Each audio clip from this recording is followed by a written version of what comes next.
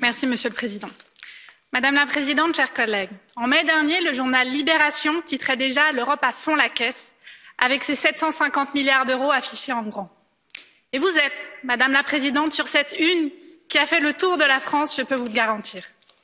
En juillet dernier, ce plan de relance, avec le budget pluriannuel, était acté entre les chefs d'État, non sans peine. Et enfin, il y a deux semaines, l'accord final avec les eurodéputés est tombé. Non sans peine, là encore, mais nous l'avons fait.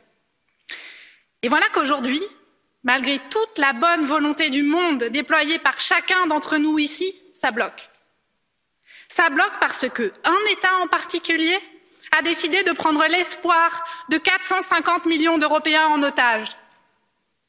Et que font les États? La semaine dernière, sommet européen. On en a parlé 17 minutes. On nous répond qu'on aura une éclaircie, peut-être, lors du sommet du, du, du 10 décembre. Mais enfin, ce n'est pas croyable. L'Europe ne peut pas continuer à être gouvernée par intermittence en croisant les doigts pour qu'un grand chef décide enfin d'abandonner son veto. Notre Europe, chers collègues, et les Européens méritent mieux. Ils méritent l'accord qui a été négocié, avec plus de moyens pour les missions qui lui incombent, avec des ressources propres et bien sûr avec des valeurs préservées.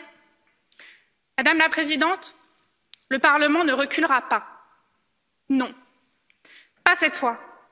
Et je regrette qu'il n'y ait aucun ministre dans cet hémicycle aujourd'hui qui puisse l'entendre. Cette relance, elle doit permettre à notre continent de se relever. Elle doit permettre aux Européens de rester debout.